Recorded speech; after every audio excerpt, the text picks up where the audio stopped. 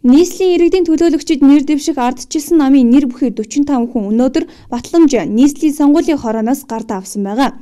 Үүний дараа нийслэлийн сонгуулийн хорооноос мэдээлэл хийсэн байгаа. Нийслэлийн иргэдийн төлөөлөгчийн энэ удаагийн сонгуульд нийт 8 нам, 2 эвсэл, 9 бие даагч өрсөлдөхөөр бүртгүүлээд байгаа юм байна.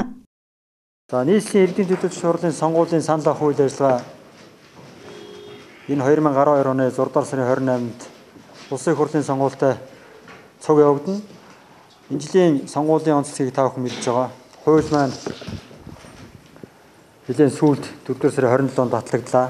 Сонгуул явуулах зарчим шинээр өгж байна. Нийт 45 төлөөлөгчийн 30 нь шууд сонгогдохоор 15 нь намын жагсаалтаар буюу ингээд нийтдээ холимог системээр явагдахаар болж байгаа.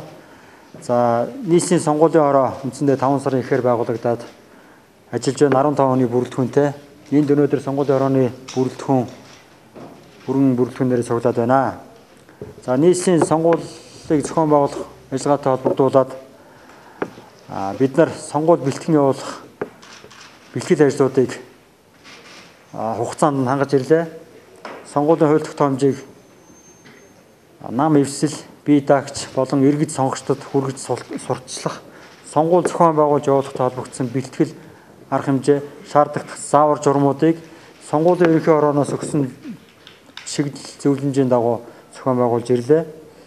За өнгөрсөн хугацаанд бид а нийслэлийн сонгуульд нам эвсүүдээс бүртгэх намуудын бичиг баримтыг хүлээн авч намуудад батламжийг гардуулсан байгаа. Нийтдээ 9 нам, 2 эвсэл нийслэлийн иргэдийн төлөөлөгчдийн хурлын сонгуульд оролцох хоор баримтаа ирүүлсэн. Ингээд бид нар баримтын нягтлан шалгаад батламжийг гардуулсан. За мөн үүний дараа сонгуульд оролцох намуудаас нэр дэвшсэн материалыг 5 дугаар сарын 23 24-ний өдрүүдэд хүлээж авсан байгаа. Нийтдээ 8 нам, 2 эвсэл 9 бие даагчийн материалыг хүлээж авсан байгаа. Одоогийн байдлаар нийслэл хотод 807 мянган орчим иргэн сонгуул өргөхөөр бүртгүүлээд байгаа мэдээлэлтэй байна. Түүнчлэн нийслэлийн иргэдийн төлөөлөгчдийн хурлын сонгуульд Монгол Ардын намаас 45, Ардчилсан намаас 45, Монголын ногоо намаас 30, Иргэний зэрэг ногоо намаас 42, Уламжлалын нэгдсэн намаас 24, Монгол Ардын хувьсгал нам, Монголын үндэсний Ардчилсан намаас 31 дөрвөн бие даагч нэр дэвшиж байгаа бөгөөд нийт 300 гаруй нэр дэвшиж өрсөлдөхөр болоод байгаа хэмээн нийслэлийн сонгуулийн хорооноос мэдгэлээ.